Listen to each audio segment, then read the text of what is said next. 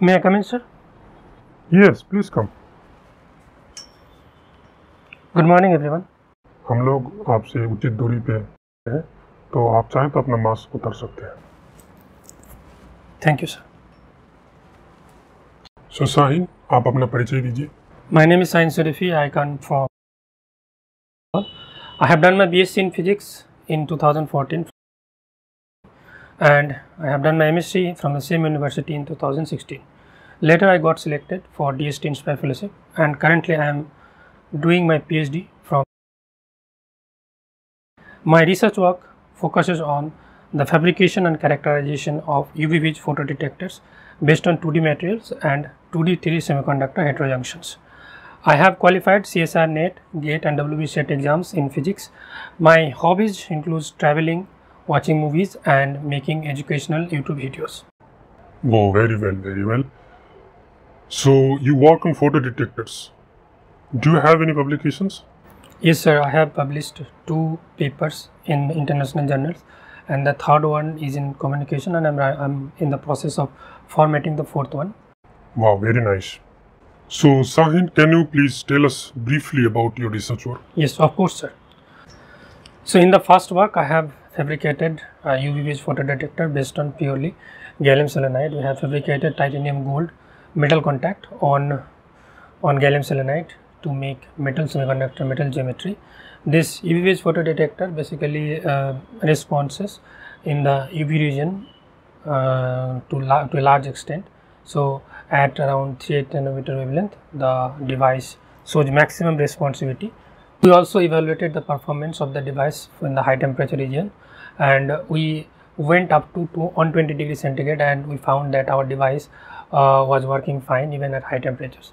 In the second part of my research work, I have uh, made a heterojunction between gallium selenide and the 3D uh, semiconductor silicon.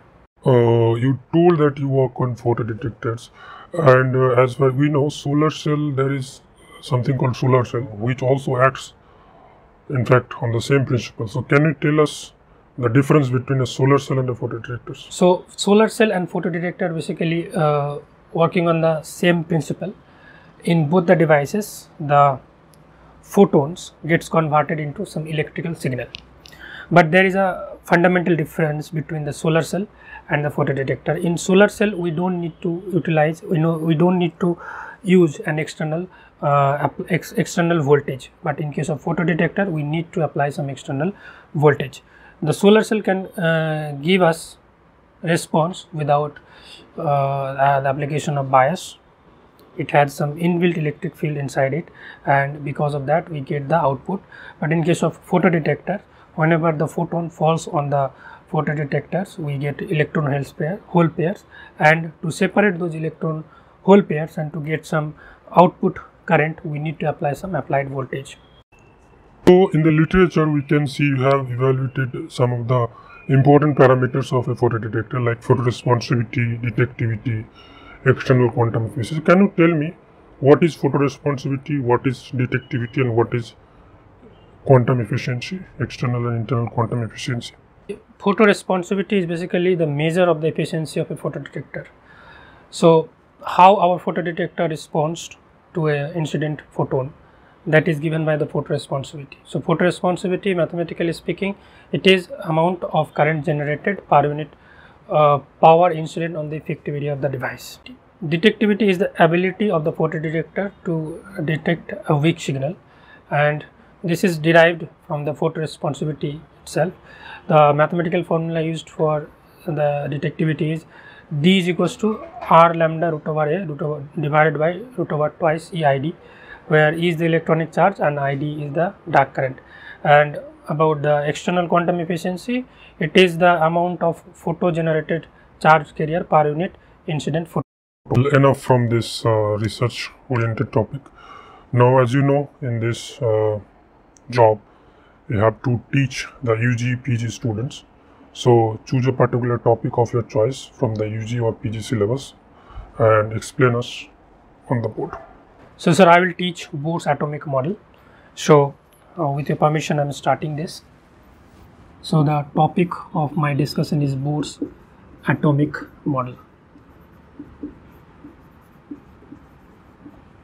So Bohr's atomic model was one of the uh, fundamental atomic model to describe the atomic structure. So this Bohr's atomic model based on few assumptions. The first assumption being that uh, in an atom we have the positive ion core and the electron moves around it in circular object circular orbits.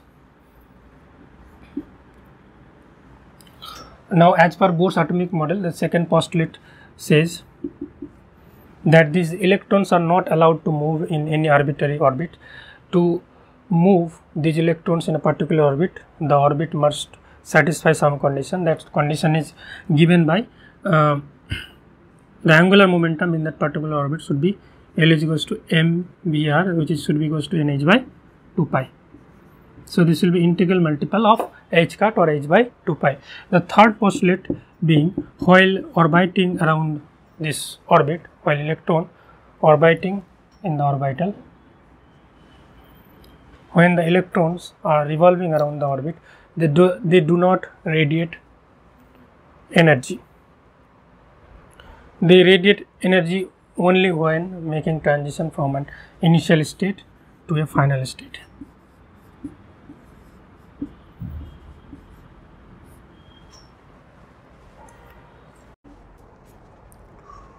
Okay, so these are the postulates Bohr gave to describe the Bohr's atomic model.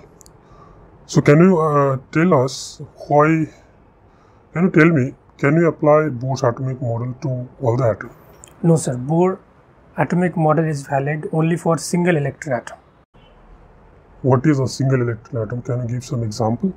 single electron atom are those atoms which is which are only having one electron like the most famous example is hydrogen hydrogen has one electron then helium plus lithium 2 plus beryllium 3 plus and another uh, atom we, we can know positronium is also one single electron atom muonic atom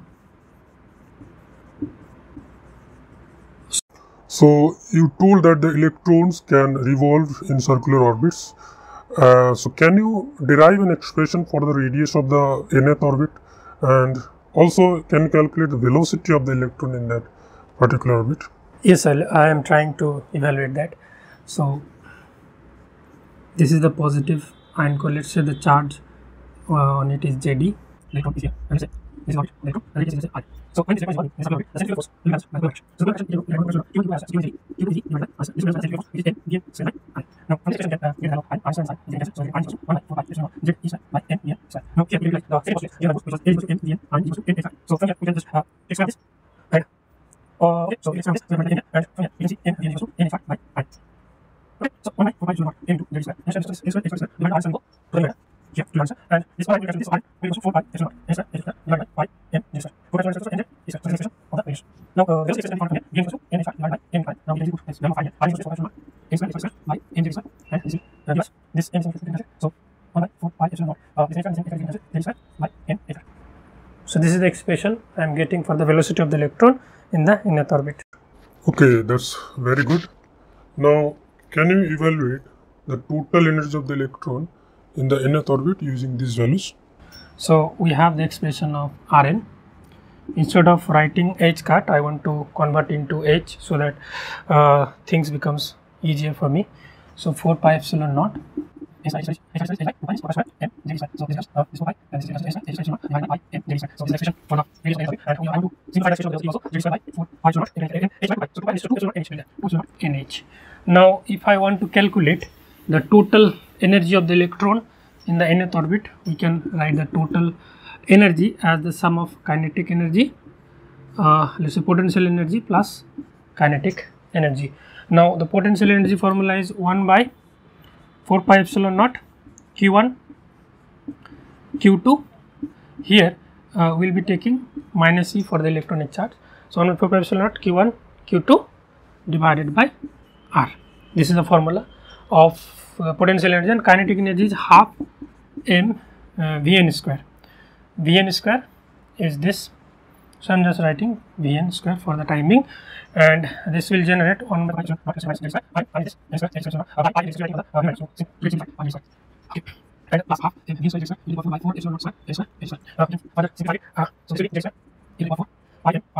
so mj okay so in the numerator this is the numerator so m is equal to 4 by 4 epsilon square h square h square plus this one gives us m z square e to uh, minus one divided by 8 epsilon square h square h square. So this one is uh, this minus is plus. So minus 1 plus 1 so we have minus 2 minus 2 minus 1 by 8 m z square e to 4 by uh, epsilon square h square. So this is m square. Right, we can just uh, write it as minus m e to 4 by 8 epsilon square h square h square c and m c z square h c. So we can write it h cube m c this is this thing can be written as r infinity into c z square h c by n the minus sign. So this is the expression of the total. So everything was going fine, but you made a mistake at the last line. Can you review it? Oh yes, sorry sir, I made a mistake here. So we have multiplied hc, okay, and this n it is n square. So I just added some. So here r infinity is the Rydberg constant. That's okay. So one last question from this topic. Can you use de Broglie's hypothesis to interpret Bohr's quantization law? Yes, sir. We can interpret uh, Bohr's quantization law using the de Broglie's hypothesis. According to de Broglie's hypothesis, according to de Broglie's hypothesis, we know that wave and matter behaves in the same way and de Broglie gave a mathematical relationship to establish a connection between them lambda is equals to h by p or h by mb. Now as per Bohr's atomic model the electrons which are moving in some stationary orbit.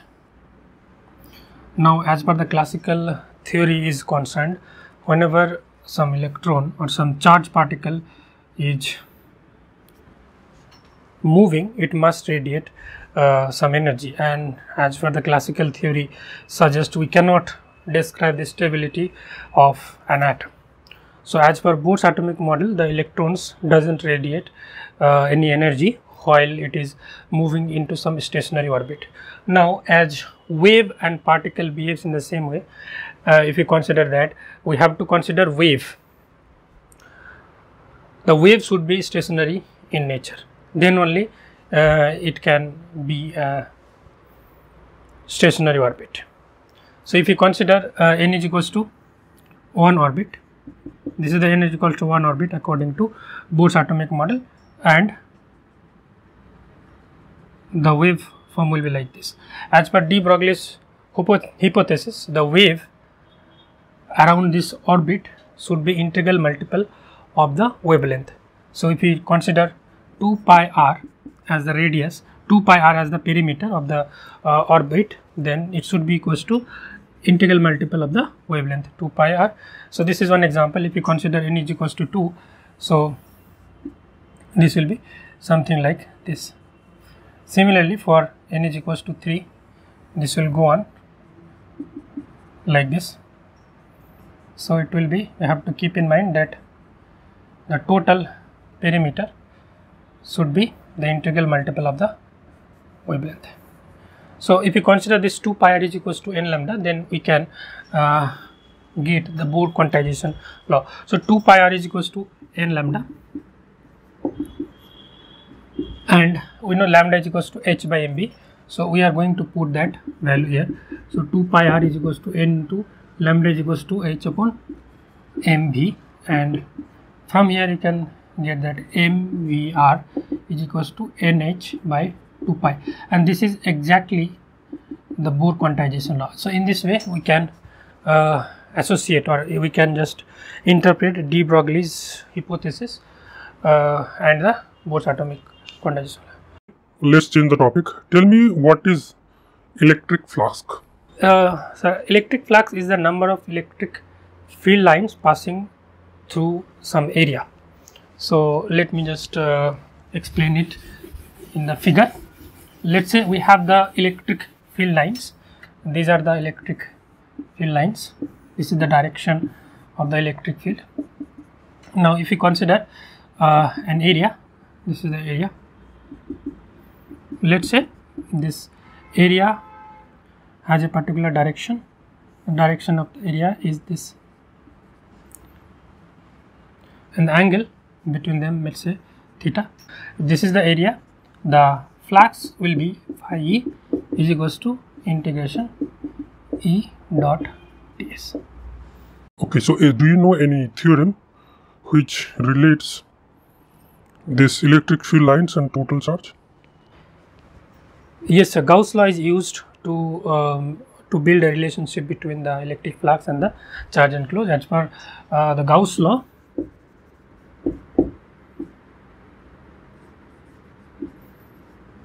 we can write the closed integral of E dot ds is equals to q enclosed upon epsilon naught. Here to apply the Gauss law, the surface is must be closed. So what do you do? You draw a cube.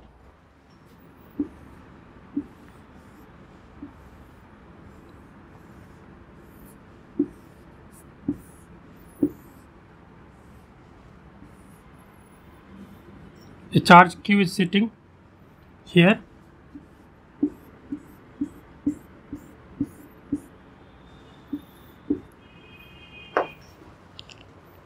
so I have to uh, find out the flux through this area. Yes. To apply the Gauss law, the area must be enclosed, but here you can see the charge is not enclosed. So first of all, I will enclose the area. So this is one cube. So we can just extend the cube up, down, side, etc. And we can get some structure like this. So I am just drawing it in this way. Let me just draw it, sir. So if this is the cube, let's say we are considering a big cube.